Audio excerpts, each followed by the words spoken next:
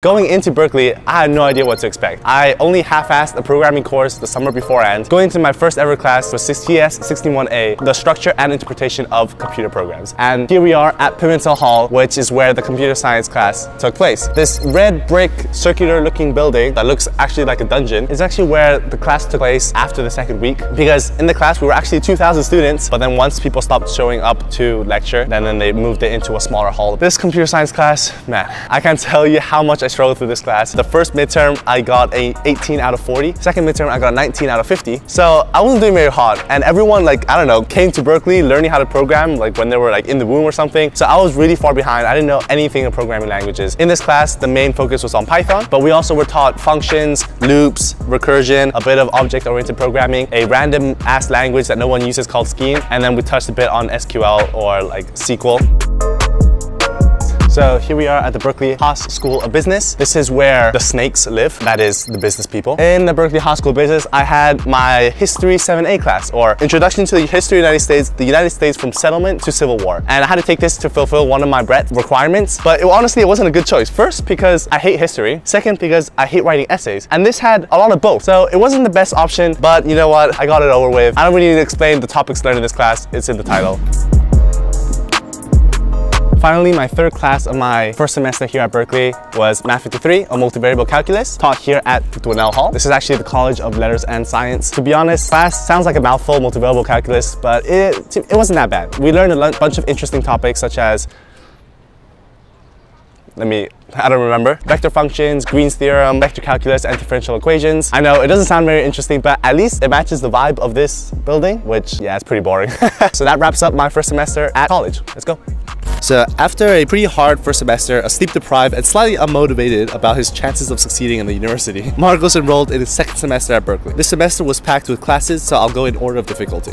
Starting with the easiest class I've ever taken here at Berkeley, and my first class of the semester is Bioengineering 100 here at Soda Hall uh, this area is where all the computer science buildings are at. Bioengineering or ethics in science and engineering. This class was really interesting actually, really easy and it talked about different moral dilemmas that scientists and computer science have when creating applications and when developing technology. And also the professor had a really cute dog that he would bring in every single day, every single lecture. So that was definitely a bonus. So next in line in terms of difficulty is E16A or Designing Information and Systems 1. And this class is one of a two class part series. The only two classes of electrical engineering from my electrical engineering and computer science major. The linear algebra was fine, but there was something about those goddamn circuits that just my brain just could not absorb. We are at Wheeler Hall and this semester I had two classes here actually. The first one was CS61B, which is data structures. And to be honest, probably my favorite class ever at Berkeley. And it was only my second semester in Cal. So we learned more in depth about object-oriented programming, interfaces, abstract classes, priority queues, and a bunch of other stuff. While in 61A, we had a lot of small projects, but homeworks mainly. 61B was very project focused. And this was the first time I was introduced to like actually building coding projects. And that was like really fun. And that's what made me want to continue my degree in computer science and, you know, become a software engineer. 61B, really good class. On to the next one, which is CS70. So if we go right here, all right, welcome to my last class, CS70. It was also in Wheeler Hall. CS70 was by far the hardest class of the four that I mentioned uh, this semester. It was a class that we learned a lot on and it was fundamental to all my other classes later on at Berkeley. Oh man, like I don't even know where to start with this class. The con apart from the concepts being too hard for my thick brain to even understand, I also taught it with the infamous Berkeley professor, Anant Sahai. And for those who don't know who Anant Sahai is, here's a little diagram of what he considers to be a normal schedule for a student at Berkeley. Not very good. So given that the professor was super, you know, super demanding and the class itself was already super hard, I had a tough time in this class. Concepts that we learned in this class include graphs, proofs, counting, conditional probability, random variables, and Markov chains. On to sophomore semester. Let's go. What he be doing though? Oh, he's covering. He's well. We saw you. We know where your we know where your stash is, bro. Looking at me. Where for your stash? But she knows. She knows. It's a nice ASMR voice of my Computer Science 188 Introduction to Artificial Intelligence. So I took this over the summer of 2020 and I thought it was going to be super interesting and useful. And it was interesting, but just not that useful. We learned about game trees, Bayes nets, Markov chains, and briefly touched on neural networks at the end of the course, which was pretty cool. But I think the problem here was that we learned many topics, but none of them in depth. So I left the class honestly with more questions than answers. So my sophomore season rolled up and as you guys know, this was all online. So right now I'm just here on the Glade, which is a big part of UC Berkeley campus where people just love to like, you know, lay around, take pictures. But oh boy, the classes I took this semester really put me up to Berkeley's name. Starting off with my first class, CS61C, Great Ideas in Computer Architecture. This is probably the class I like the least out of all the classes I've taken at Berkeley. It's not because of the hard workload, the bunch of projects and homeworks and exams that we had, which is over the top. It was because the class was in C and assembly language. And for those who are not geek or computer science nerds, C and assembly is the worst of the worst. Like, it's awful. It sucks. Some topics that we learned in 61C included uh, obviously learning C, assembly language, which was RISC-V, Logisim, CPU, and pipelining, thread level parallelism, virtual memories, and IOs. So to accompany a workload intensive class, I took CS 170, probably perhaps one of the hardest computer science classes at Berkeley in terms of like pure concepts. class is called Efficient Algorithms and Intractable Problems. This wasn't really workload intensive, it was just really hard to understand. But even then, I really enjoyed the classes and the topics we covered, which include divide and conquer, fast Fourier transformations, graphs, dynamic programming, and as usual, a bunch of other topics which I don't have time to explain. But yeah, really useful class as well. Definitely applicable to like software engineering, uh, future interview questions. What other way to continue this really light work semester with a physics class called Physics 7A or Physics for Scientists and Engineers. Going into this class, I thought, you know, it would be easy. It was physics, uh, the topics were mechanics and waves, and which I've taken in high school, and I was like, okay, well, it can't be that much harder, right? Well, wrong. It was so hard, made me appreciate physics majors a hell of a lot more. And lastly, I took Native American Studies R1A, which is basically just a filler class I had to, I had to take to fulfill some certain requirements. And honestly, there's not much to say about it. It was pretty easy, essays, that's it.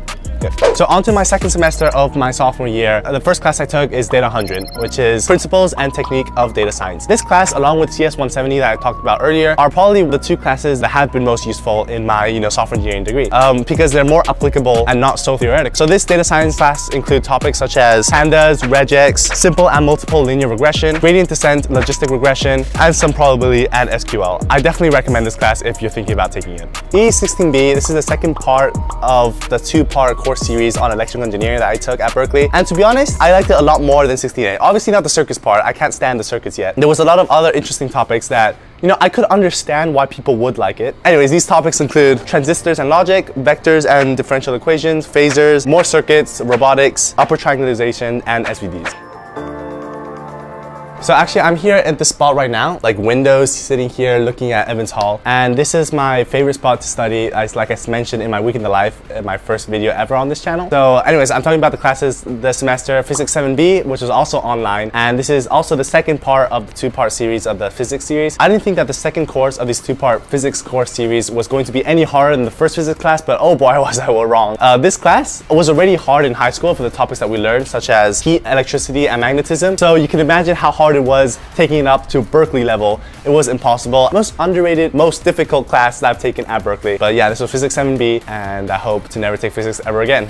So just like last semester, I topped off these three hard classes with some other interesting class, uh, which is Linguistics R1B, Endangered Languages. You know, I wanted to say that I took this class because I thought Endangered Languages was an interesting topic, but to be honest, I just searched up what the best grade distribution classes fulfilled that breadth requirement was. I had an average of an A minus, so I took it and I got an A. So pretty good class. Um, yeah, that's, that's all I can say about it. So right now we're over here. Oh, black. So here we are in front of Stanley Hall where I actually have a decent amount of classes. One of them being another physics class, but this time it wasn't super hard. Astronomy 7A or Introduction to Astronomy is where is the class I had at Stanley Hall. Thank God it was not as hard as the other physics class that I had because I could not last another physics class at Berkeley. But this class was actually really interesting and it covers super broad range of topics. So these topics include celestial mechanics, distance and brightness of stars, spectroscopy, binary stars, exoplanets, stellar spectra, and solar evolution. Actually, funny story, my roommate Hugo, which is behind the camera, camera actually. One time I was feeling lazy, I didn't want to go to class, and in the end he convinced me to go to class by saying that he would go with me. And considering he doesn't take any STEM major classes, and he hasn't taken the astrophysics class probably ever in his life, he probably paid more attention to that class than me, and you know, he could probably recite whatever he learned in that class, um, which is actually quite impressive. So that just goes to show the class was, you know, was really interesting. This is Evans Hall, and it is the ugliest building on campus. They're actually gonna tear it apart. It's actually not safe, that's why they're tearing it apart, and they're gonna build a huge new campus thingy over here. I'll put a photo right now. So here I am in front of the Kresge Library where my team and I spent most of my first semester senior year here. And that is because of the class CS 162 Operating Systems and Design. And man, I don't even know what to say about this class. This class was by far the hardest class I've ever taken at Berkeley. And it was just a combination of workload, the concepts were just hard. It was just so many different things that just made this class impossible. We had homeworks every other week and each homework was as intensive as each project from my first year at Berkeley. And then we had four projects in total and where we designed and built a operating system called Pint OS and it was just insane. Like I didn't understand anything in that class. Luckily the professors and staff knew about this so we were able to get in teams of four throughout the entire semester to work on the projects and mostly the homeworks too. And I got lucky that my group practically carried my ass through the class but also my group members became one of my close friends and I still talk to them on regularly. Actually you've seen Harrison in many videos already. He was in my 162 group. But anyways, going on to the topics that we learned in 162. Oh my god, it's a lot. Okay, so let's just go with a couple from the top of my head, which is actually just written down here. So processes, system calls, concurrency, locks, semaphores, virtual memory, and caching, and a bunch more, which I won't talk about because this video can be hours long. Yeah, thank God for this next class though, Psych 133 or Sleep Psychology. This class was probably my favorite class here at Berkeley just because of how interesting it was and how easy it was too. This class talked about different the behaviors sleep, how animals sleep and how uh, we think like what our brain goes through when we sleep and just a bunch of other factors and facts about sleep that were really interesting and person myself that doesn't get much sleep it was actually really insightful to see what the consequences were of not getting enough sleep and all that stuff. Definitely a really cool class to take. 10 out of 10 recommend it. Also the professor has a really nice British accent which is definitely a plus. But yeah here we are at East Asian Library. It has nothing to do with sleep psychology technology, but this place is really nice. And it overlooks here, if you come with me, it overlooks campus and the library itself is also really nice. So so lastly this semester I took UGBA 135, which is personal finance. It was a pretty, you know, decent class. It was actually online, but here at, you know, the Haas School of Business, I might as well just include that one into. But yeah, it was a pretty decent class. We learned about uh, general topics concerning uh, personal finance, such as investing, ETFs, stocks. Um, we also learned about real estate, Roth IRAs, retirement accounts, all that good stuff. So it was really decent class. It was just two units, two hours per week, uh, one day of the week. And uh, let's get out of here. I can hear the hissing already of the snakes. Hiss. So here we are at Jacobs Hall, and I think you've seen this in my previous video. Uh, this is where I have my Computer Science 160 class. Don't worry, I'll let you know if there's any car coming. You're good. Uh, the cars come from that side. So, so yeah, so here we are at Jacobs Hall. This is where my Computer Science 160 class is, which is user interface, well, UI and UX design. And this class was really interesting. I'm a pretty artsy person, if I say so myself. So I was looking into something like that can combine computer science and art, which is like UI. So we learned a lot about how to design apps and websites and stuff like that, which is really cool. The only thing is that the class wasn't that interesting, but the projects were really nice and I made an app with my team, which was fun. So yeah, that was CS 160 Jacobs Hall and we're at the really north side of campus, uh, which is where where all the computer science buildings are.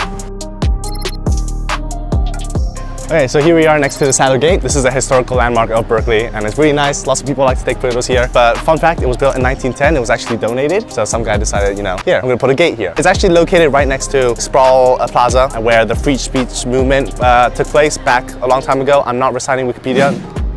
Yeah, so here we are back at Dwinelle um, from my first semester uh, when I took Math 53 multivariable calculus. And in Dwinelle, I took CS 186, which is databases. And it wasn't that fun of a class. It was actually kind of boring, but it was my last computer science class ever at Berkeley. So I was a bit oversaturated on all the computer science techie, nerdy stuff uh, for my three years here. Um, but overall, I took the class with my friend Harrison, who I met at 162, which I said, you know, just a couple minutes ago. We learned like how to count IOs in databases, uh, recovery, deadlocks, but overall, not really interesting. And uh, yeah, Dwinelle Hall is where the lectures were held. Here you would go if you were to go to lectures. So we're back here at Stanley Hall, and this is where I had my one, Psych 131 class or developmental psychology. And to be honest, it was just one of these classes I had to take to fulfill a bread. And I wanted to take a psychology class because I took psychology of sleep that I found really interesting. Um, but this one was nothing like that. First of all, it was a lot harder, which I did not expect, and I wanted to chill my last semester at Berkeley. But second, the concepts weren't really that interesting. I mean, it were, but I guess it was just really wasn't for me. Some topics we talked about were as like ADHD, anxiety, um, suicide, depression. But uh, overall, pretty good experience. Definitely recommend that class. It was just not as easy as expected was.